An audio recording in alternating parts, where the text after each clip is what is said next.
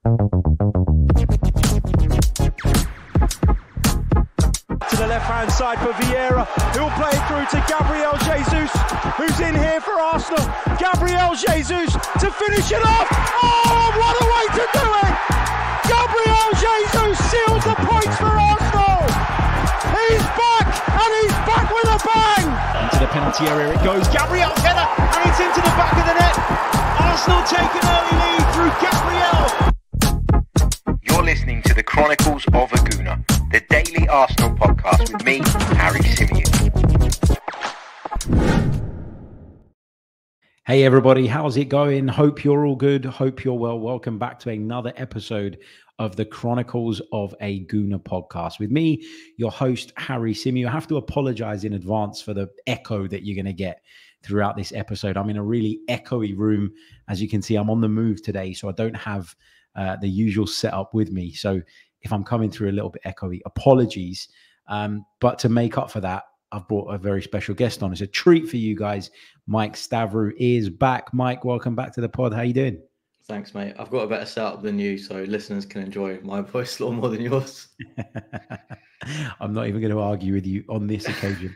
Um, how you been? How you feeling ahead of the new season? We're less than a week out now. Yeah, good. Uh, we were just talking off air saying that we're really excited, but now we're back into it properly with under a week to go. I think we're we're feeling the the weight of it as we as we work in this industry.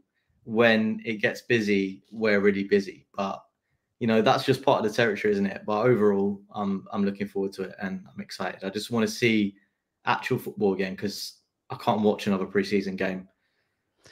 It's hard, isn't it, with preseason? Because I always find in the build up to each and every one of those fixtures, there's a part of you that's really excited to watch your team play. And in particular, if you've got new players, you can't wait to see them and how they get on and how they look in the kit and you know what you're going to be able to learn about them from even a, a small cameo appearance of 15 20 minutes in some cases but then you turn up to these games and invariably they're crap and there isn't much to go sort of away raving about there isn't many lessons learned i always find anyway i've tried to take some lessons from arsenal's couple of games particularly here at emirates stadium but you're not really going to know where you're at until the opening day of the season when we take on Premier League opposition with something at stake. And it's very, very difficult to kind of replicate those scenarios, I think, in these preseason friendlies. So I do find this time of year quite difficult. Um, how are you feeling generally? Look, we're going to do a bit of a season preview, but I don't want to do the whole X is going to be the top scorer, Y is going to be the top assister. I don't want to do all of that because there's so many variables that come into play with that stuff. But I wanted to start off by gauging your general mood ahead of the 24 25 campaign because Arsenal went very close last season, closer than they did the season before. The only natural step, really, Mike, is is to go on and win it. Are you feeling optimistic, positive? Is there an expectation on your part for Arsenal to go out there and get the job done? How are you feeling? I'm feeling ultra positive, and uh, now I say that, I'm kind of scared because I feel like we've not gone in with this positivity that we can actually challenge for the league in years. I'm talking like decades. So it's been a long time and it's an unusual feeling. But the last two seasons, I mean, last season I thought we would struggle because I think the the season before was so unexpected how how well we did that I thought we were going to struggle to to match that. Um, but it turns out we didn't, and we went all the way to the final day. And like on the final day, it was such a feeling of elation and you know disappointment, of course, because we we knew it probably wasn't going to happen, and it didn't end up happening. But the fact that we were there was a huge step in the right direction. So I think this season everyone's just really excited to see what we can do, and I think it really shows you the reaction to um, the transfers because I think if last season would by this stage, with five days to the new season, if we'd only had signed one defender, I feel like there'll be turmoil. Um, the fans will be fighting with each other. Um, you know, there'll be all that bitterness that we usually see. But I think because we are where we are and we've had the season we've just had, plus we made those big signings last summer, the squad's in a much better position. And we're not at that stage where we're saying we need a striker to to compete for the league, or we need this or that to compete for the league because we know we can already do it. So the, the feeling is completely different. I, I guess the, the question then shifts to what could help us push us a step further than when we went and make up that two point deficit that we had. And we can have arguments about that, about there's marginal gains to be made in defense, which I think we made in midfield and probably in attack as well. But in terms of my overall feeling and what I feel that we can achieve, it's it's right at the at the best it could be. I'm feeling positive too. I was on a show earlier today um, here at 90 Min where the guys were trying to, as they always do at the start of every season, get me to commit to some prediction involving Arsenal so that they can clip it up and basically put it out if we fail to achieve what I say we're going to achieve. And and I wouldn't say today that Arsenal are definitely going to win the Premier League. But that doesn't mean I'm not positive or optimistic about what the new season's going to bring. I think we're going to be right up there. I think we're going to push Manchester City. But I still think it's right that Pep Guardiola's side, who will be bidding to win their fifth Premier League title in a row, who will go down as arguably the greatest Premier League side of all time, given the points tallies that they've managed during that period. I still think it's right that they are the favourites going into the new season. Now, that's not me trying to take away the pressure from Arsenal and trying to divert it elsewhere. But I don't know about you. I haven't seen enough from Manchester City to say that they're going to take a step backwards, which means we definitely win the league. I think it's going to be tight. I think it's going to be close. You talked about marginal gains that we require. What I will say about that is that for me, I think, yeah, of course, sometimes you can make those gains in the transfer market, but the transfer market isn't the be all and end all. I think we can still improve. I think we can improve our efficiency in front of goal at times. Um, I think defensively we were great, but we still had our moments, obviously. Um, so yeah, I think that those marginal gains and those steps forward can be made internally as well. How are you feeling about the transfer window so far? Obviously, there's still time to go, and I really do believe, Mike, that Arsenal will do further business. I think another couple of players will come in. But at the time of recording this, we've only got Riccardo Calafiori in the door. Emil Smith Rowe's gone. Eddie Nketiah could be going. Reiss Nelson's been linked with a move away. We don't really know what the future holds for Aaron Ramsdale and various others. It's hard to rank a window or rate a window at this point in it. But do you feel like Arsenal could have done more up to this stage to, to strengthen their title challenge? So I feel like just given the investment that has been put into this squad as it stands, um, I think I said last time there'd been 240 million pounds spent on the 11 defenders that Arteta signed since he came in. And that's just defence. You know, we've spent 100 million on Declan Rice and 70 million on Kai Havertz and other areas. So there's been a lot of investment over the years. And I think at the end of the day, like the owners are going to want to see that we can sell as well. I think that was always going to be a reality, reality of this project that at some stage, when developing all of these players, we were going to have to sell some of them off. And I think actually we're in a pretty decent position that we're not having to sell one of our best players like Gabriel Martinelli or a Bukayo Saka or a William Saliba. I think that's that's a positive, right? Because I think if the project hadn't been at the stage it is now, where we've challenged for the league title and gone all the way to the last day, if we hadn't quite got that far, I think that pressure will be ramped up for them to say, okay, you've done really well, but you're not quite at that stage where you can finish the job now and get the Premier League title. But the fact we are almost there is, is a good thing. But what they will want to see, and what any businessman, any investor will want to see, is return on investment. And the fact that this window we have looking like going to have sold two players for a decent amount of money, which we haven't done historically. We've never been able to get consistent fees for our players. If Smith Smith Rowe's gone, if Eddie goes as well for the fee that they're talking about, 30 million euros, that's a pretty decent deal. And I think showing that we can sell to some extent is really important. So that that's the boring side out of the way. Um, but am I enamored with the signings? I mean, Calafiori, I think, is really interesting. I think he poses um, a lot of threat to opponents, and I think he poses selection headaches as well, which is good because he can play as that backup to Gabriel centre back, or he can play left back, and that just gives us you know different scenarios for how we want our team to set up, how we want to build up, um, how we want to defend, uh, how what our shape's to look like, things like that. But I'd be lying if I said to you that I didn't want more reinforcements at this stage. You know, because because ultimately, if we sign a Mikel Merino, he's probably not going to be ready for the first few games of the season. And you know we've seen from from previous years, you really need to start building up that momentum in the first few games of the season. And I feel like a player like that could have really helped us. Um, and it's just about bedding them in, isn't it? Ultimately, because what did we see from Kai Havertz last season? We saw that we tried him in midfield and it really didn't work. And I think that you know, adjustment period harmed his confidence and he looked a shell of the player that he is now. Um, so I think getting them in early and doing that business early is important. That's not happened. So there is a bit of disappointment there, but you know, I'm not throwing my toys at the pram. I know there's still time. And I can sense that they wanted to see deals done first before they started bringing those players in. So we've got hope that these deals go over the line so we can do a bit more business.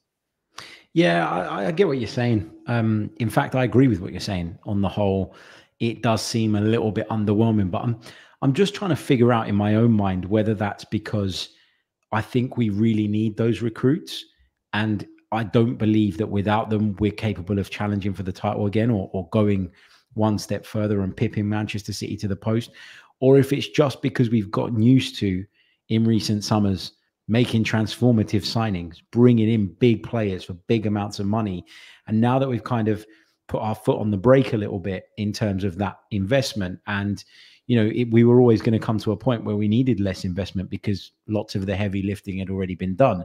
I'm just wondering if we've come to that natural point and it's just the mindset thing.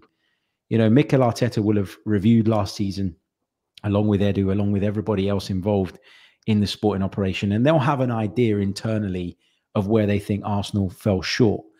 And, you know, then it's up to them. Do they think that they can bridge that gap between where they are and where they want to be by tweaking things internally?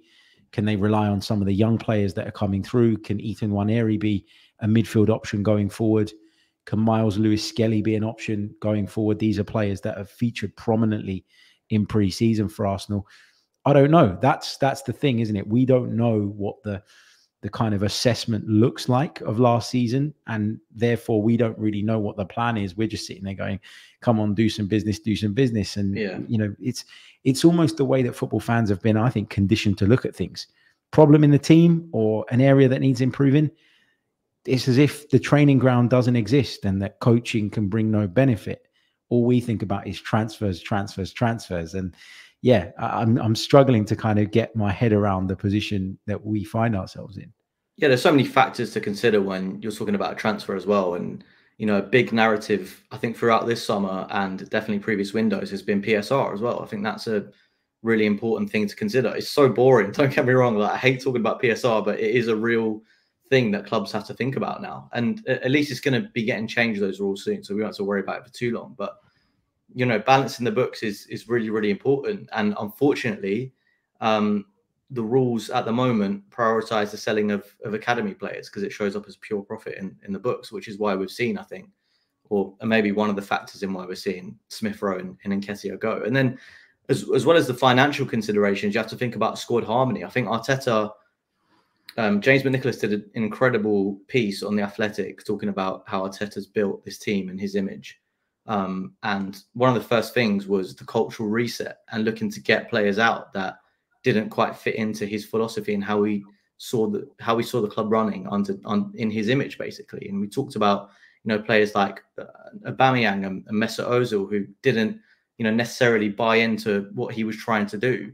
Um, and the fact that he's curated this um, winning mentality at the club, he talks about his non-negotiables and stuff like that it's such an important thing when you're looking at transfers, not only the ability of the player, but the mentality and how that slots in with the rest of the squad. Is, is it going to upset the harmony of the squad? Um, is it a player that's going to get upset if he doesn't play, you know, 25 games a season in, in the Premier League? I think all of these things are, are so important to consider that I'm not surprised if we're being really selective over who we choose to bring in, as well as profiles.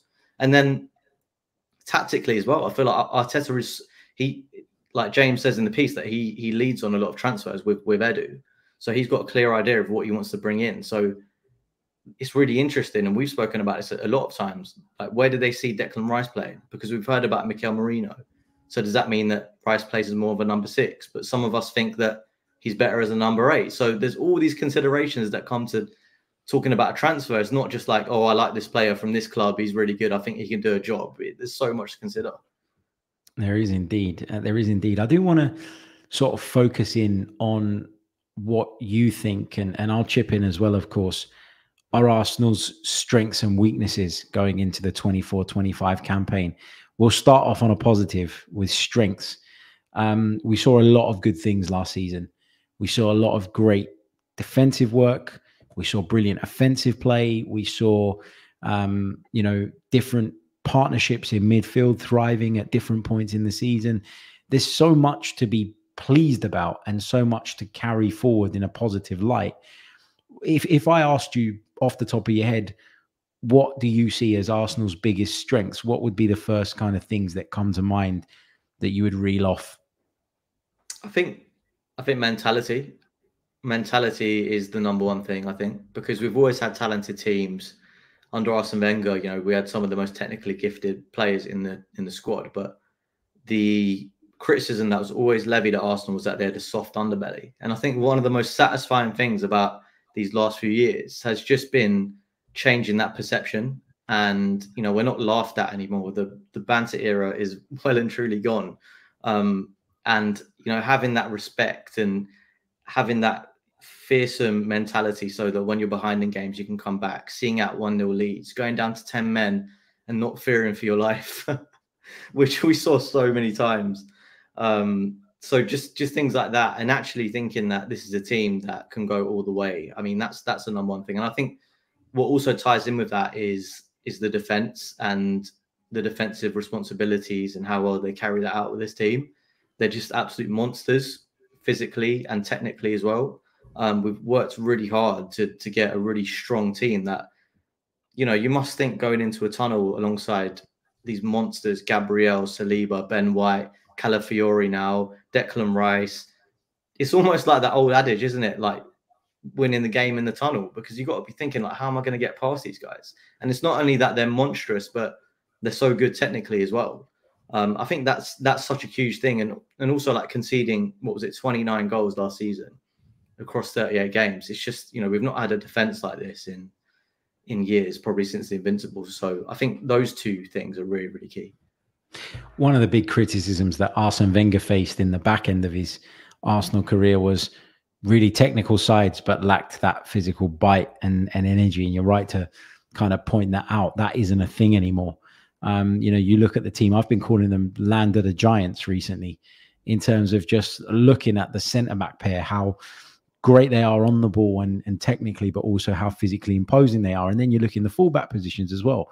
And we've got the ability to, to pick people in those positions that can also do a lot of those things. You add Declan Rice to the midfield, and all of a sudden, where you looked a little bit lightweight, you now have someone that is as good as anybody at getting across the ground, making challenges, using his body. Even Kai Havertz, like yeah. I've always looked at Kai Havertz and thought big player in terms of his stature, but I have to say, before he came to Arsenal, and he might have done it before he came to Arsenal, but perhaps we didn't pay such close attention. But I don't ever remember Kai Havertz putting himself about the way that he does in this Arsenal team. And so then not only is he above people on the technical level, he's above people in a physical level as well, which gives him the edge. And that's why I think he's really thrived under Mikel Arteta and come very, very good. I think, yeah, mentality is a big thing. The physical thing is, is is obviously there as well. Organization and the way they're coached to me is a big one. I was watching Arteta really, really closely yesterday, um, at the Emirates Cup game against Lyon, And even in a preseason friendly, even when there was nothing at stake, even when there was 10 minutes to go in a game that Arsenal were leading by two goals to nil, and he made wholesale changes, he was still at the edge of his technical area, a lot of the time outside of it as well, as we know he likes to stand, and orchestrating every pass, every bit of movement, making sure that out of possession people were doing their jobs the structure is so clear. And I think the structure and stability is our biggest strength, I would say, going into the new campaign. The fact that we know what we are, we know how we're going to use that. Add to the, all of this as well, the set piece ability that we now have as well, which comes partly from having a very physically dominant side and well organized side that know how to conduct the routines that you are putting in front of them on the training ground. You've got to be really intelligent as well to take that stuff in and then to be able to maximize it and utilize it and and produce it essentially on a match day situation. So I think those are are all valid points in terms of the strengths. Weaknesses, is there a particular weakness that you worry about going into the new season? Because I've probably got a couple of points on this, but I'm interested to know what, what you think in the weakness column. Yes, I think oh, well, I'll start with what is a strength and how it proves that something else is a weakness. I think the strength to start off is the right hand side and that combination of White, Odegaard, and Saka. I think that's one of the strongest combinations, not only in the Premier League but in world football. Like the way those three interlink um, and all have those defined roles and you know some of the football, but between them, Harry, I don't think it's a stretch to say that it's beyond like prime Barcelona, like tiki taka, um, because the, the, way like the technical ability of those guys is just insane. Um, and if you go back and watch it, like it's almost amazing how often it is throughout the season. But when we're watching a full game, we don't notice it. It's when you see the compilations and how many times they do it, uh, how skilled they are, how often it leads to goals, chance creation, all of that sort of stuff. But then that leads me to to say that it shows the left hand side needs some work, and I just don't think that left hand side has gelled as much. Um, I'm not sure we knew what the best combinations were down the left because we saw so many different ones. We saw Havertz start on on the left eight, and then Martinelli on the left wing, and then Zinchenko. But that changed so many times throughout the season. Whether it was uh, Tomiyasu playing the left back, whether it was Trossard coming at left wing, whether it was Declan Rice at that eight, and I think that continuity is so important to building those relationships. Um, and I just really hope that we can nail that down this season into a more fluid um, trio. And you know, that's not going to start every game. You know, I'm not, I'm not saying that, but if we can, you know, get our sort of primary three that we think really works well and use them in the in the majority of games, and then maybe in the Champions League group stages we switch it around a little bit, experiment with with some other players. I, I think that's that's really key. But obviously, the the big question mark over that is we're not sure who that left eight is going to be, whether that's going to be Merino or someone else, whether that's going to be Havertz reverting to that position and the Jesus up front. So I think that's going to be a really interesting dynamic to it and somewhere we can really improve. I think you're right to point out the left side. And I don't really know what the answer is here because you can either say that actually the fact that we can use different players on that left hand side, um, you know, depending on who we're up against, the threats that we face, some might argue that that is a strength, the fact that we've got different personnel and we can pick accordingly from week to week. I agree with you that it's probably more of a weakness, though, than anything else, because you can see that the relationships aren't quite what we have on the right hand side. And I think it's natural for a team to be slightly lopsided. You know, the side that has your better players is often going to be the more effective side. And you've seen that in a lot of teams. Naturally, you play through your best players, right? That's how it works. But I, I think last season, a number of individuals were impacted by the fact that as a collective, we didn't know what our best left hand side was. I think whoever played left back struggled because in Zinchenko's case, there were times where you were asking him to sit back and be a left back, which he just isn't very good at doing. And he got exposed for that. There were times where we felt that we couldn't play with Zinchenko at left back, and so we'd put a Tomiyasu or a Kiwior there. But then by that same token, we were asking them to go into midfield and do a job that they're just not fit to do. And so we had a problem there. The change of the left eight, I think, impacted the relationship between whoever the fullback is and the midfield. And then that then has a knock on effect on the left wing as well, because you know, whether it's Martin, if it's Martinelli one week, you're going to play it one way, and if it's Trossard, you're going to play a different way. Martinelli will take you to the byline. He will play higher up. Um, he'll give you something different. His work rate is different to Trossard's. I think it's better than Trossard's, and I think he will come back and help out more. But then, you know, you got to factor that in as well. I think the the lack of consistent relationships on that left hand side last season was a weakness for us. And I wonder if we've done enough this summer to address that, to be able to say, right, this is our left side, or at least two thirds of it. And we're going to go with this and we're going to tweak it from time to time. But that's the main, the main sort of, uh, you know, unit that we want. I, I do worry about that as well. My other weakness is I still think we lack that killer in front of goal. And I know that the counterpoint to this will be, well, if you take Havertz out though, then you don't get as much in the build-up. If you take Jesus out, you don't get as much in the build-up. But I just feel like sometimes you just need that guy in and around the box that can get one chance, take it, and win you a game. And I still don't think at the time of recording we've addressed that. And I don't think we're going to address that between now and the end of the window, which is probably the bigger concern. Yeah, we spoke about this on the last pod, didn't we? Do we really need it? And I think my my answer was no, but obviously the if one comes knocking, then you don't say no, do you? Like if we were to go out and sign Alexander Isak, no one's going to have a problem with that. But it's just about prioritizing and how far does the budget stretch and in what areas can we make other improvements. I mean, I'm not going to be unhappy going into a season with a fully fit Jesus and Kai Havertz, but my slight concern is with Jesus's injury history. What do we do if Jesus gets injured and we've sold Eddie Nketiah? I think that leaves us a bit short because we did play Leandro Trossard there for a short space of time. But if Jesus is out for three months like he was last season, that's a real issue. Like, what do we do? Because I don't think Havertz and Trossard is enough to fill that void personally. So my question is then, I'm saying about you know backup for Saka, but do we also try and sign someone? And this is obviously hard to do. I'm living in fantasy land here. Do we try and sign someone who can operate on the right wing, but also up front if need be? and that would be my my question and my hope really. But I guess that would also depend on Reiss Nelson, wouldn't it?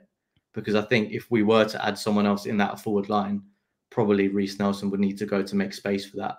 Um, so it's a, it's a really tricky one, and with what just over two weeks to go, um, it's going to be tight to the deadline. But I, I, just hope that I could they can pull it out. I mean, I was kind of interested to see Pedro Neto going to Chelsea because I, I feel like that would have been a player that that suited us. Obviously, the injury history would be concerning with him, but I feel like he'd probably suit what we're trying to do.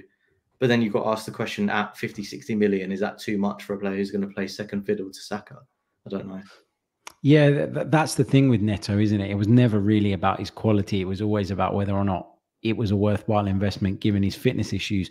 I actually looked into this the other day, and I think we spoke about it on the pod maybe two or three days ago, where I kind of felt that the way he was being talked about was maybe overstating the impact that he's actually had in the Premier League. And I was surprised to learn actually that Gabriel at the back for Arsenal, in sort of 20 more appearances in the Premier League, has actually scored more goals than Pedro Neto, wow. which to me is is mad. Like it blew my mind yeah. that statistic. Um, I would have looked at Neto, but for me, the price would have, have to would have had to been right to do that deal. And I don't think at that price point it's something that Arsenal would do. I also agree with you on the whole. If you can get a right winger slash striker, that is the the the ideal solution and outcome um, this summer. I just think we're at a point, Mike, and I, I, don't know if you agree or disagree with this, where we're no longer desperate to sign players. We're sort of looking around the market and we're ready to bring in players if we think they're going to improve us. But the heavy lifting's been done. We're we're past that point where we just need to keep turning over players until we get the squad that we want. So if Arsenal fail to do that bit of business between now and the end of the window, will you be angry about it or will you be able to kind of process that in your mind and say, well, obviously they didn't feel the right guy was out there? Like, do you have that level of trust in the current Arsenal hierarchy now? Because I think I do. I do have the trust in the hierarchy, but as I said, I think if we go into the season with the squad as it is now, I would be slightly concerned just because we've got to play Champions League football and all the cups, and I'm just not sure we have the required cover at the level that we need. And you, you, you did talk about Ethan Nwaneri and Myles Lewis Skelly. Could they make the step up? I mean, potentially they could. And to be fair, from the bits I've seen of them in preseason, they look like they're ready, but it's always a different scenario seeing them in preseason then actually seeing them in a Premier League game. You know, it's a completely different intensity. The levels are, are way higher. So I'd be reluctant to say that they can, you know, play at Premier League level if called upon. Um, and then particularly in those two positions I've highlighted, the left eight and right wing. I mean, I'm just not sure Mikel Arteta trusts Reiss Nelson enough to, to come in and play consistently in place of Saka when Saka needs a rest because we've not seen him do it. So that just suggests to me he's not ready. The other option in that area is probably Fabio Vieira, just looking at where he's played in preseason. Again, I'm not convinced. Um, I look at like the, the ultimate example for for positions like that at Man City, and obviously I know the financial situation at City is different, but just looking at, at their front line, apart from Erling Haaland, because Alvarez looks like he's going, on on the right wing they'll have the new signing Savinho and um, Oscar Bobb, who's very talented. On the left side they'll have Grealish and Doku, and then at central attacking mid they'll probably have Bernardo Silva and Phil Foden. And for me, like that is the depth that you need to navigate. And De Bruyne too. Positions. And and De Bruyne, we're forgetting about De Bruyne. The, the only reason I didn't mention is because we're not exactly sure what his future holds, what sort of fitness state he's in at the moment. But I look at that as depth, uh, and then I think we've got decent depth, but it's nowhere near that level. And ultimately, we're going to need those marginal gains, that extra level up to be able to compete with City. And, and I think as well, an important thing is going to be going further in the Champions League than we did than we did last year. I think that you know we'll, we'll want to see that. We can't just bow out um, at the first sign of a big team in, in a knockout game. So in able to in order to do that, I think we need to level up the sort of quality of play that that we're looking at. And I'm just and this is not me trying to be negative. I just think I'm I'm looking at it from a from a point of view where you need to make certain tweaks to to just jump up the the level that we need to get to. And for me, we're not quite there yet. Let me ask you one final question before I let you go. If Arsenal are only to sign one player between now and the end of the window, would you pick a midfielder or a forward? What do you think is the greater need at this moment in time? So you've only got enough money to bring in one. Is it a forward for you or is it a midfield player? That's so tough. I've put you on the spot um, there. So I think just in terms of the the starting eleven, uh, I would say midfielder because I think, you know, I think Declan Rice is going to end up playing as a number six, so that covers us there. But then my question mark is who do we play at left eight? And if that is going to be, and if we want Kai Havertz to play as a number nine, because I think he is our best number nine, then that means we need to sign an eight as well. Um, I'm not convinced that our other number sixes can start in every game for us this season. Um, so I think that leads me to say number eight. And I know I've just bang, banged on about the about the right wing position, but I'm talking about depth there. Whereas this for me is a bit more pressing. But that's a bloody tough question. Can't we just sign both? I agree with you though that the, the midfield poses a greater need because of the fact that we'd you know we'd be relying on Thomas Partey to stay fit, which we know doesn't often happen. And obviously, I think as great as Jorginho's been since he's come to Arsenal, it's very clear that you know he, he isn't someone that you can play every single week and expect him to perform at that really really high standard that we need. I think in the forward positions we've got options and we can juggle things around a little bit, shuffle the pack a bit if needed. Um, I wouldn't be surprised if you saw Kai Havertz playing as an eight again quite a bit this season. I think it was interesting that Arteta played him there behind Jesus the other day. And I actually asked Arteta about that relationship, and he seems to be really excited about the combination of the two. So I wouldn't be surprised if you saw in games against the lesser teams, Arsenal being a bit more sort of open minded and, you know, open to that thing with Rice sitting and then saying to Havertz, you've got Rice and, and Odegaard playing in there with you, just go, you know, use that license, get forward. If you've got the right left back who can tuck in alongside Rice at the six position as well in that midfield when you're attacking and that maybe protects you against the transition a bit more, that's an option too. But I think midfield is certainly the greater need at this moment. Um, Mike, thank you so, so much for joining me. There's going to be loads more content coming your way over the course of the week where we're going to be previewing uh, the brand new season. Uh, we've got a Patreon piece dropping tomorrow, um, which is about Gabriel Martinelli. We're going to look at his numbers. Uh, from the 22 23 season, compare them to the 23 24 season, and try and figure out how he gets back to something like that level. We're also going to talk a little bit about um, his future at Arsenal. Is it on the line if he doesn't deliver this time around? So we'll get into that in the coming days as well. Mike, let everybody know uh, how they can follow you and keep across all your brilliant work. Yeah, I'm on uh, Twitter at Mike underscore Stavrou. That's the best place. Brilliant stuff. Give him a follow and you'll find links to everything there. Uh, remember, if you haven't done so already, leave a like on the video, subscribe to the channel if you're brand new. If you're listening on audio, then please do leave us a review too. That really, really does help. Uh, thank you as always, and we'll see you all on the next one. Until then, up the Arsenal. Come on, you guys.